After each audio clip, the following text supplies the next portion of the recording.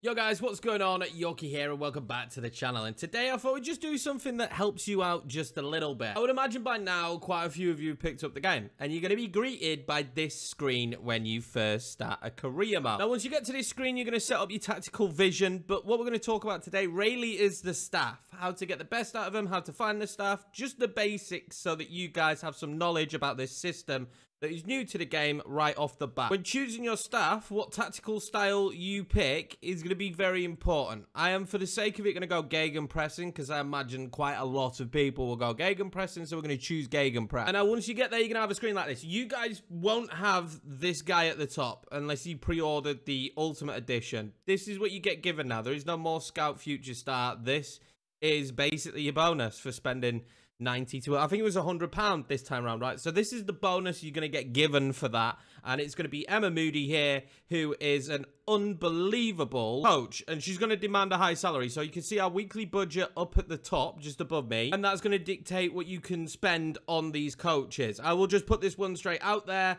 When you start the game if you've got the ultimate edition you hire this coach. There is no reason whatsoever not to hire this coach. You do have to bear in mind though when you're hiring coaches up to the top left that you do have a staff capacity. This is something I made a mistake on. I was rushing just trying to get coaches through the door. Just so we were close to the stars and we'll explain what the stars do after we we start hiring coaches. But just remember and bear in mind that depending on the team as well, this will be different team by team and your budget will be different team by team. If you're a bigger team, you'll have a bigger budget with more staff that you're allowed. Smaller team, just represents the same, but on the lower end. Now, I chose Gegenpress, and you will see the tactical vision down on that left-hand side where they have the Gegenpressing symbol. It's pretty straightforward, the symbol system. This means that they are a gold standard Gegenpressing code. I'm going to hire her instantly, and then I can choose what slot to put her in. She's five stars in everything, so it doesn't really matter what slot I pick here. She's going to be perfect in them all. But what should be bear in mind is that there are certain positions where you're going to need more five-star coaches.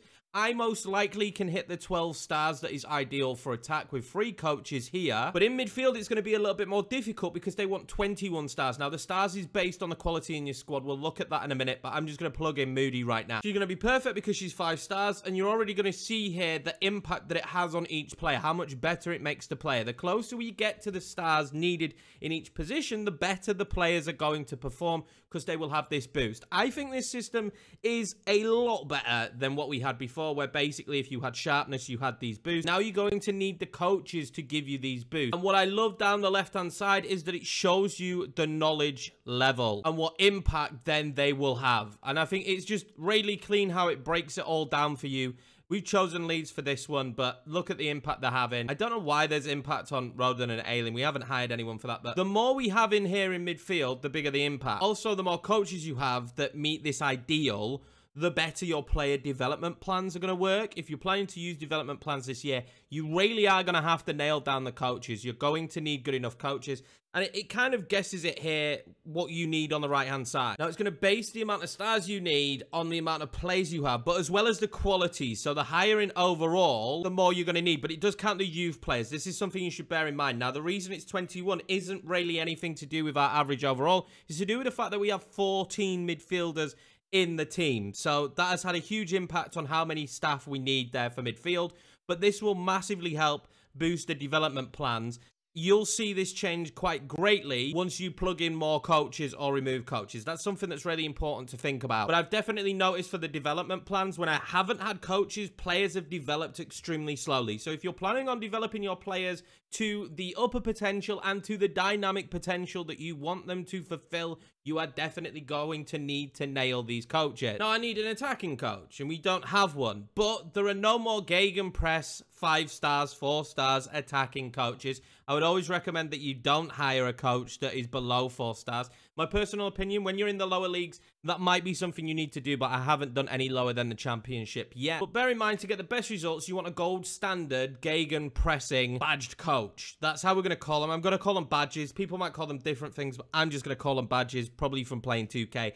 But basically, you can get away with this because this is something I learned. If I go and pick this coach right here, and you'll already see now they've got a bronze badge, I'll stick them in attack, which is five, which is fantastic. Now, I'm not going to get as much as a boost because they're an expert in park the bus and not in Gegenpressing. But one of the key things here is the more and more that they do the Gegenpress, the more and more adept they get at being a gegenpressing coach. So don't let them put you off. If you find a five-star coach that is not gold standard for gegenpressing, it doesn't mean don't hire them. In my opinion, I would still hire them. By the end of the season, they will at least be silver, if not gold. So that is something to bear in mind. You might want to chop and change tactics a lot. We'll do a tactic video later down the line, but this is important. Don't be put off by not having the gold star gegenpress or whatever you're doing because they will learn that over time. And although it's not the greatest of impacts, you're going to see here that Georginio Rutter is going to go up plus two and he's going to get the novice level. So he's going to get an increase to his short passes, sprint speed and his interception. We're just not going to get the rest. His strength is finishing his dribbling.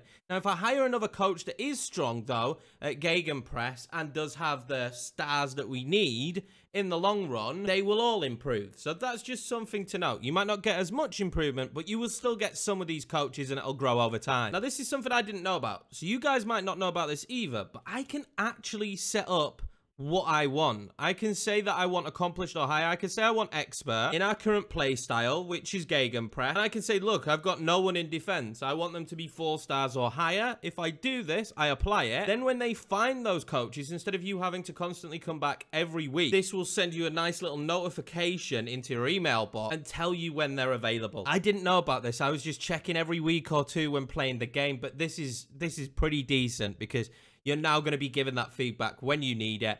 And you don't have to waste time then just sitting and scanning and looking. And you can really then get just the coaches that you need. I would at least go through straight off the bat and have one or two coaches in each position. You can always replace them. You can always fire them. And what I've noticed so far is my budget usually greatly exceeds the amount of coaches that I can get. So I've not really had any issues. There's usually one position that I have an influx of players or players that are too good that I might not quite hit the ideal, but so far I've been pretty good at getting it every time. And you can just come over to this team strategy bit whenever you want to look for coaches, and it will also tell you as you change over time why you're going to need more stars in that position. I would recommend though you keep a few things the same, like free goalkeepers. It'll make your life a lot easier with the coaches, and then never have too many players in one position like we have here at Leeds. I've just got way too many midfielders. Should also make you give a little bit more thought to the youth academy because if you fill this youth academy with a ton of players, that will impact your coaches.